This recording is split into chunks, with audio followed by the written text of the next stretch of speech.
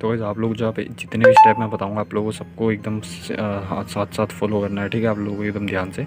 तो सबसे पहले आप लोगों को जो ऐप इन्फॉर्मेशन में चले जाना अपने इंस्टाग्राम के। वहाँ पर जाने के बाद आप लोगों को तो स्टोरेज यूजेस में चले जाना है। वहाँ से जाने के बाद आप लोगों को क्लियर कैश कर देना है इसमें। और क्लियर डाटा नहीं करना है। नहीं दोस्तों भी डाटा होगा आपके इंस्टाग्राम में सारा रिमूव हो जाएगा। तो आपको कैश क्लियर कर देना है। इतना जाने के बाद आप लोग को यहाँ पे नीचे परमिशन में चले जाना है। यहाँ पे सब कुछ, आपको जितनी परमिशन सबको अलाउ कर देना है। तो ऐसा मैं सारे परमिशन जो इनको अलाउ कर देता हूँ। तो यहाँ पे ऐसा एक भी परमिशन नहीं होना चाहिए जो कि डिने हो ठीक है? तो आप लोग सब कुछ अलाउ करके रखना है। सो so, इतना जाने के बाद आप लोगों को क्या करना है? यहाँ पे आप लोगों को सिंपली अपना इंस्टाग्राम ऐप को जो है ओपन कर लेना है। तो मैं यहाँ से एक बार रिफ्रेश करके दोबारा से ओपन करता हूँ। तो अब देखिएगा यहाँ पे मैंने इसको ओपन कर लिया है। बाकी मैं यहाँ पे सब कुछ देख लूँगा। मेरा सारा कुछ यहाँ पे वर्क कर रहा है कि नहीं कर रहा है पहले की तरह, ठीक है? तो मैं जो है सबसे पहले यहाँ पे रील्स को देख लेता हूँ। रील्स वगैरह चल रही हैं, चल रहे हैं, सब चल रहे हैं अभी यहाँ पे।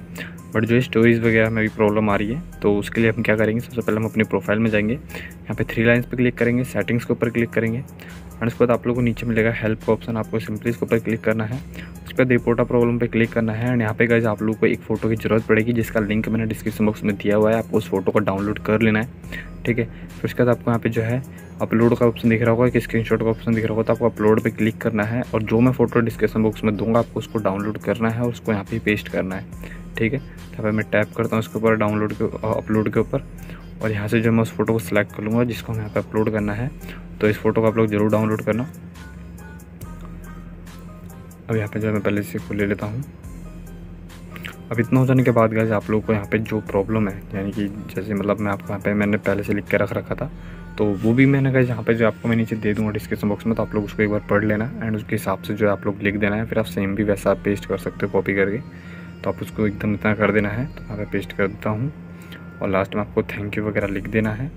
और इतना जाने के बाद आप लोग को जो है यहाँ पे मतलब कि मतलब अपनी प्रॉब्लम को अच्छे से लिख के यहाँ पे और ज़्यादा शॉर्ट में लिखना एकदम मतलब फुल मत लिखना कि पूरी एकदम मतलब कि लेटर वगैरह मत लिख देना। शॉर्ट में लिखना है, ठीक है? फीडबैक है ये तो शॉर्ट में लिखना है।